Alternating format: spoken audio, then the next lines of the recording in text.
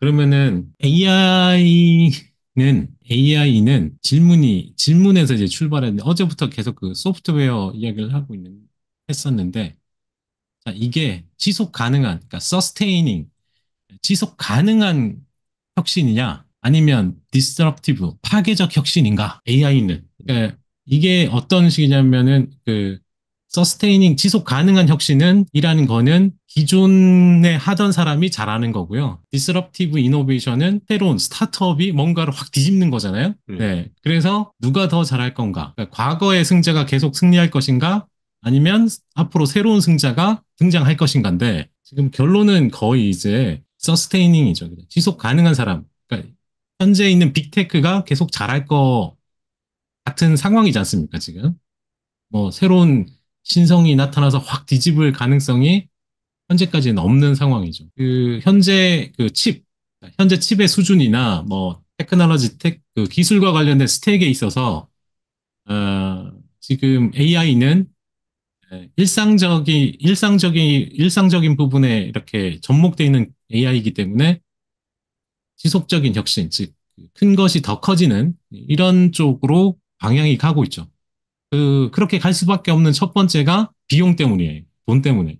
이게 작은 어 돈에 있어서 특히 아, 트레이닝이든 뭐 추론이든 이 이걸 돌리는 AI 칩을 돌리는 비용 자체가 칩 구매부터 돌리는 비용 자체가 어마어마하게 많이 들지 않습니까?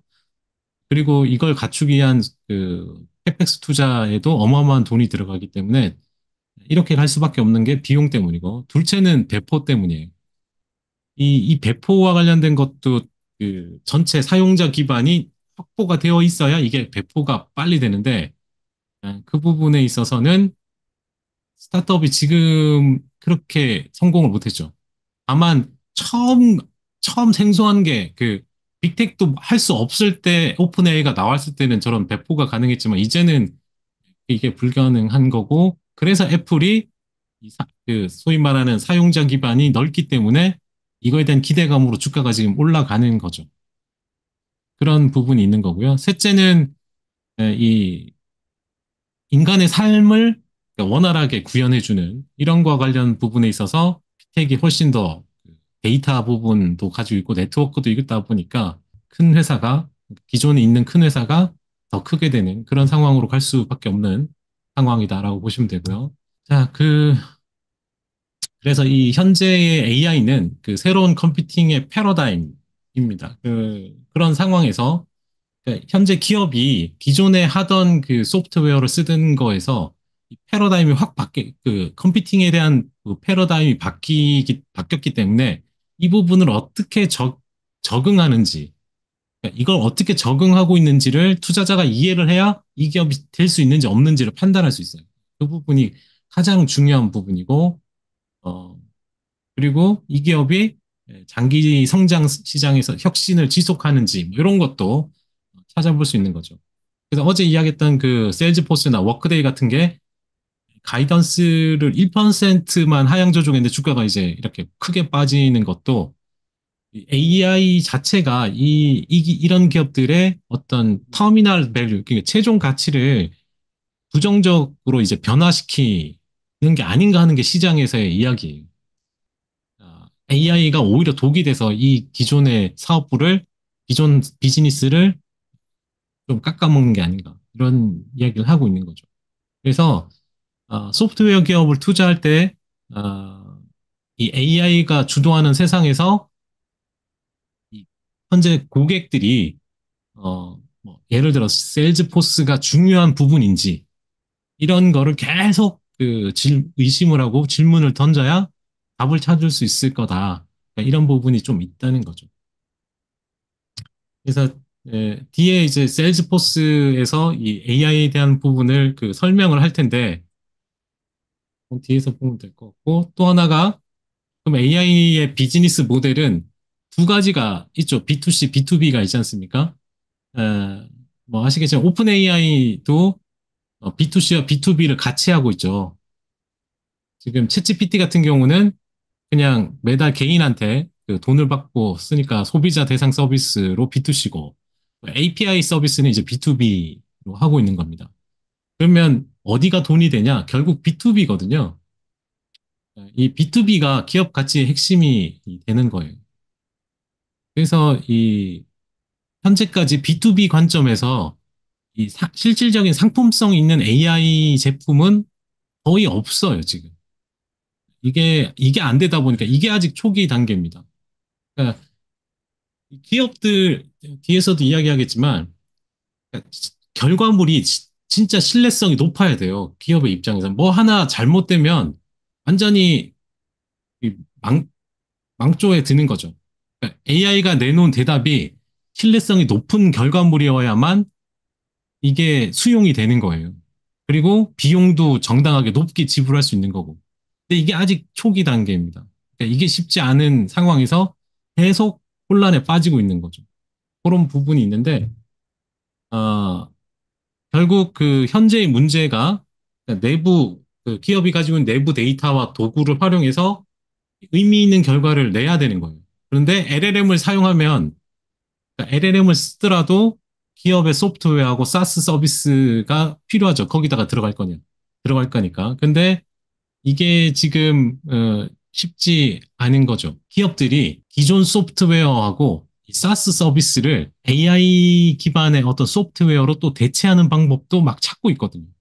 음. 그러니까 이걸 도입을 했는데 오히려 그 기존에 이걸 또 안 쓰게 되면 얘는 올라가지만 얘는 떨어지게 되는 사태가 발생하는 거죠. 그래서 이제 상당히 좀 혼란스러운 부분이 좀 있고 또 하나는 LLM만으로는 잘 안 돼요.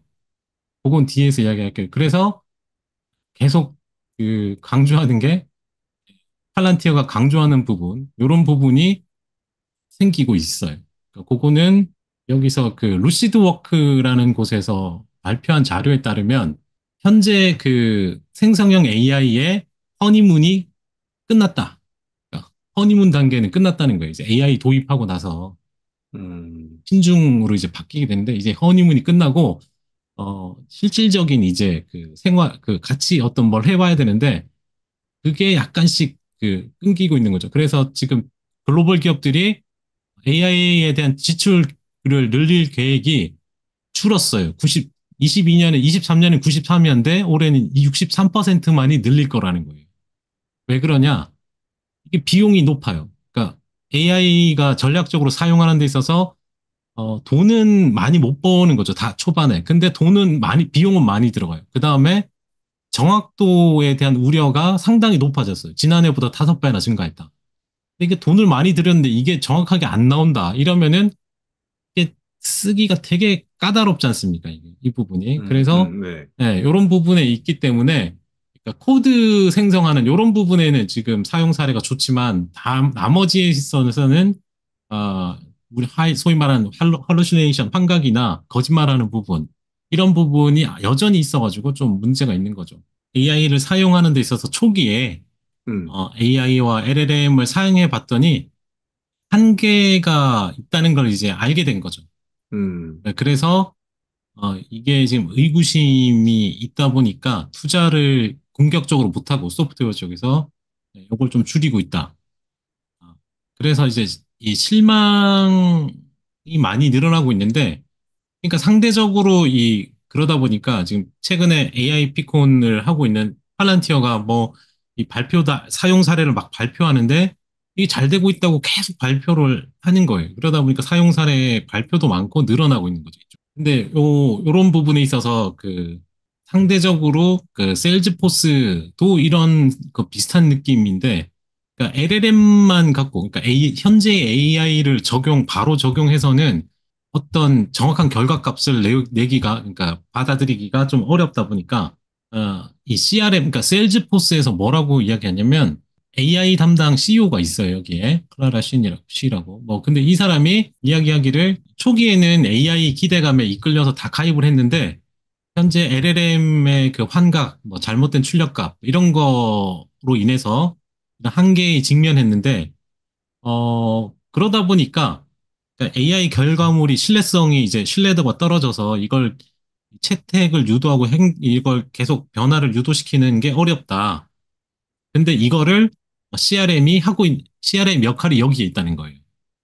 그러니까 잘못된 그 결과물을 이런 거를 어, 제대로 이제 나오게끔 자기들이 자기들이 도와주는 거다 이러는 거죠. 음. 자기들 AI가 그냥, 그냥 일반 기업이 그냥 챗GPT API 써갖고 뭐 만들어내는 게 주, 그렇게 해가지고는 정확한 신뢰성 있는 걸 못 만들어내니 이, 이런 그 CRM의 역할이 있다라고 하는 거죠. 그러니까 여기 나오는 이 고객이 원활하고 실용적인 방식으로 AI를 구현할 수 있도록 지원한다. 자기들이 하는 일이래요. 음.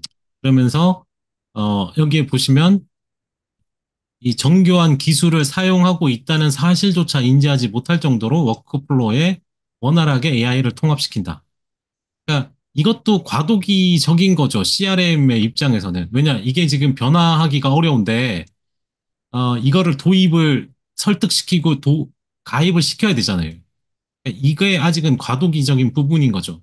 그러니까 아직까지도 이해한 부분이 있고, 그, 어떻게 보면 이게 지금 그 팔란티어가 자기들 거를 데이터에 어, 물리기만 해도 어, 정확한 그 소위 말해서 그 기업의 문제점이 뭔지를 정확하게 파악, 알 수만 있으면 알, 그게 이제 온톨로지로 이제 분석이 되면 정확한 결과값을 이제 도출할 수 있는 거를 이야기하는 거랑 뭐 거의 비슷한 느낌입니다. 중간에 들어가서 자기들이 다 해주는 것처럼.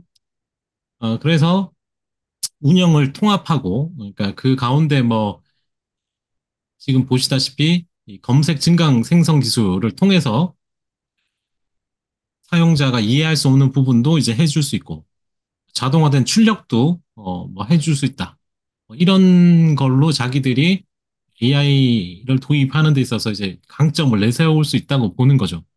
그러니까 예, 생산성이나 효율성에 있어서 그 실용적인 그 적용에 자기들이 도와주고 신화적인 부분, 뭐 기존 워커플로우에 통합될 수 있게끔 해주겠다. 뭐 이런 이야기인데 이 부분이 이제 뭐 적용이 되고 이게 실제 수익으로 이제 이어지려면 시간이 많이 걸리지 않을까 생각이 듭니다. 이게 뭐 전체적으로 큰 기업들이 AI를 도입해서 이제 잘 되는 그 텍, 기술력으로 이제 잘 되어 있는 테크들은 괜찮지만 안 그런 데는 되게 어려운 부분이 있죠. 기, 기존에. 그래서 이런 부분을 적용하는 데는 시간이 좀 걸리지 않을까 이렇게 좀 보는 거고요.